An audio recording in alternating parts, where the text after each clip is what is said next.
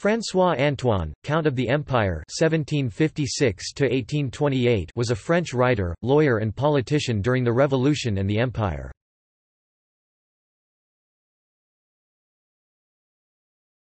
Topic: Biography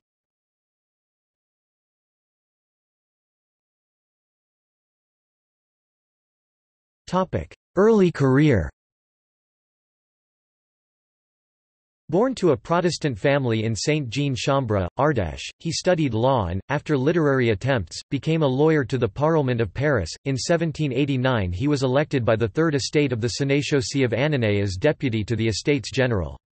He was one of those who induced the Estates General to proclaim itself a National Assembly on 17 June 1789, and approved, in several speeches, of the storming of the Bastille and of the taking of the royal family to Paris October 1789, Boissy d'Anglas demanded that strict measures be taken against the royalists who were conspiring in southern France, and published some pamphlets on financial issues.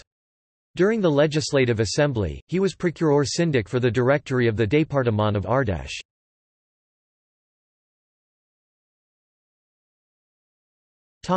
During the Revolution Elected to the National Convention, he sat in the centre, La Marais, voting in the trial of Louis XVI for his detention until deportation should be judged expedient for the state.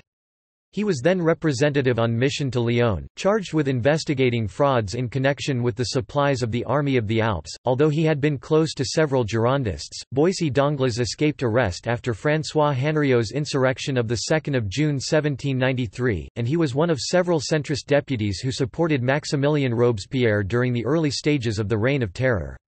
However, he was gained over by the members of the mountain hostile to Robespierre, and his support, along with that of some other leaders of the Marais, made possible the Thermidorian reaction. Boissy d'Anglas was then elected a member of the Committee of Public Safety, and charged with the superintendence of the provisioning of Paris. He presented the report supporting the decree of 3 Ventôse of the year 3 February 1795, which established freedom of religion.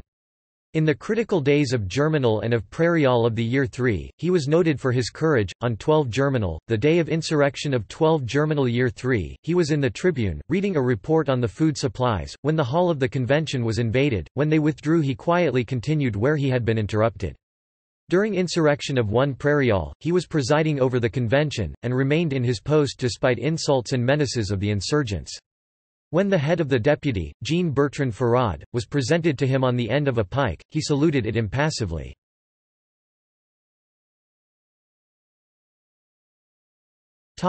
Under the Directory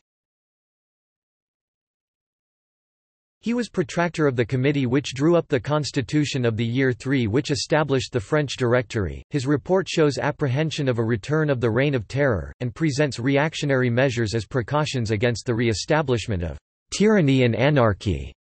This report, the proposal that he made the 27th of August 1795 to lessen the severity of the revolutionary laws, and the eulogies he received from several Paris sections suspected of royalism, resulted in his being obliged to justify himself the 15th of October 1795 as a member of the Council of 500. Boissy d'Anglas became more and more suspected of royalism himself.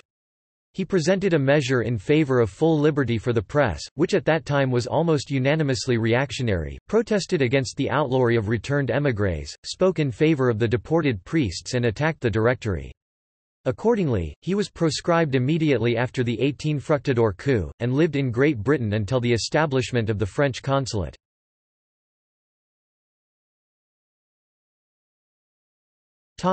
Later life In 1801 he was made a member of the tribunate, and in 1805 a senator of the empire. In 1814 he voted for Napoleon's abdication, which won for him a seat in the Chamber of Peers after the First Bourbon Restoration. However, during the Hundred Days he returned to serving Napoleon. After the defeat at Waterloo and the subsequent abdication of Napoleon, 1815 Boissy d'Anglas was one of the five commissioners sent by the Provisional Government to try to negotiate peace terms with the Duke of Wellington and Prince Blücher.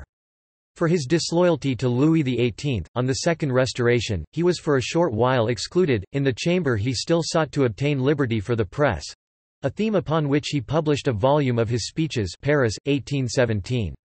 He was a member of the Institut de France from its foundation, and in 1816, after its reorganisation, became a member of the Académie des inscriptions et belles lettres.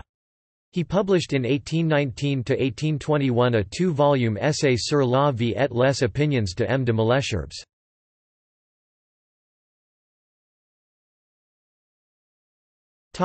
Family and children He married Marie-Françoise Michel Nimes, the 6th of January 1759 Bougival, the 21st of March 1850 on the 11th of March 1776 in Vauvert. They had four children. Marie Anne, the 17th of February 1777 to October 1855. Suzanne, the 14th of October 1779 to the 6th of March 1851. François Antoine Jr. The 23rd of February 1781 to the 12th of November 1850, prefect of Charente. Jean Gabriel, the 2nd of April 1783 to the 6th of May 1864, Orléanist politician. Equals equals notes